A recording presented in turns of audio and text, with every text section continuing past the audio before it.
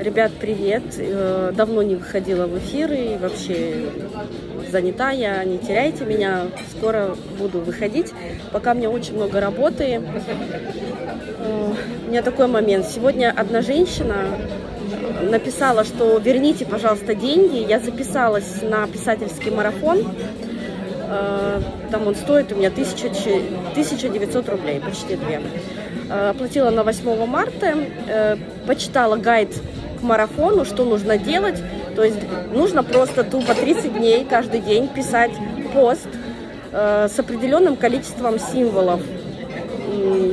Пост, в который влезает э, и комфортно для чтения, то есть не длинный, не короткий, определенное количество символов, неважно о чем, вот просто как чукча можно, сижу, пишу, не знаю, о чем пишу, птица пролетела и так далее, неважно что, главное писать.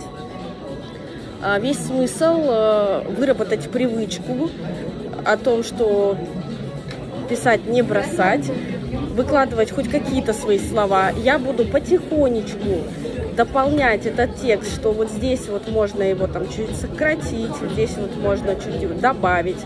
А, задача научиться слогу, чтобы вы в одном предложении могли целый космос запустить. Так вот, она, прочитав этот гайд, пишет то, что верните деньги, я поняла, что я не смогу. А, меня просто, ну, это убило, потому что не, мне не жалко, пожалуйста, бери свои 2000 и иди.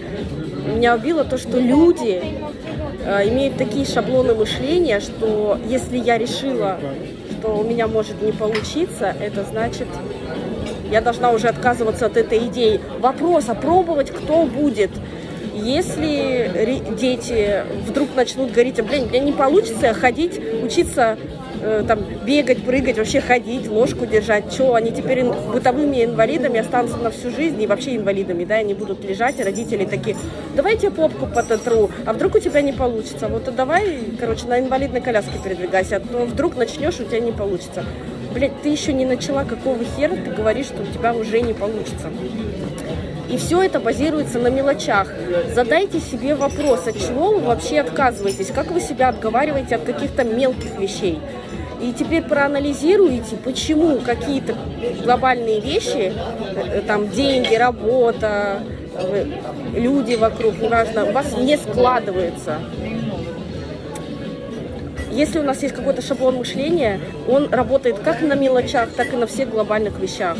Получается, если вы здесь на ровном месте побоялись просто попробовать, да, я, верните деньги, я не хочу пробовать, у меня не получится блядь, ты не знаешь еще.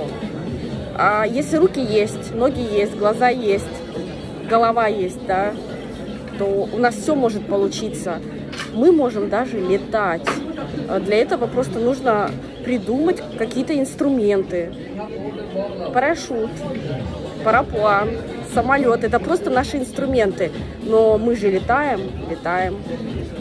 Здесь никто не говорит о том, что у вас должны быть свои собственные крылья, но мы можем в этой жизни все.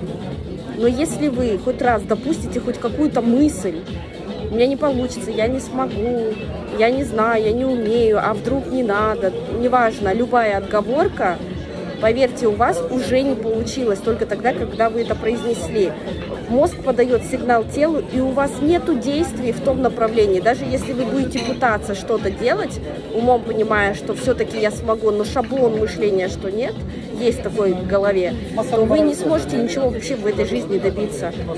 Пробуйте, тренируйте свои шаблоны мышления, укоренять новые, которые полезные. Я не знаю как, но я попробую, я смогу. Приучайте ум подсознательно всегда думать в этих направлениях, неважно, что вы делаете. Э, я смогу сейчас попить кофе. Неважно, даже если это глупость, но вы просто проговорив это, начинаете укоренять шаблон «я могу». Ходите так и смотрите там 60 дней, все, что вы можете вокруг, проговаривайте, будьте в моменте, смотрите, как у вас это получается, и чтобы у вас мышление э, укореняло такое подсознательное убеждение, что я смогу, неважно что. Когда на мелочах натренируетесь, можете и большие вещи. Вообще никогда не думайте, что вы что-то не сможете. Этого невозможно вообще. Невозможно только для покойника, который в покое лежит, его уже нет, тело гниет. вот он уже ничего не сможет, а вы все сможете. Может быть, девушка передумала э, просто этим заниматься, поняла, что ей это неинтересно, и она решила как отговорку мне это написать. Но окей, тебе это неинтересно, но ты же изначально понимала, что тебе выгодно развиваться.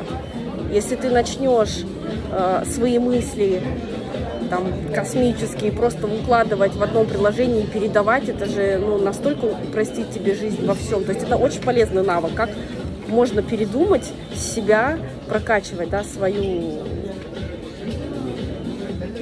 знаю, себя, свой мозг. Я не знаю, что еще подсказать. Но, в общем, девушка поступила очень глупо, и я уверена, что мы все так поступаем постоянно.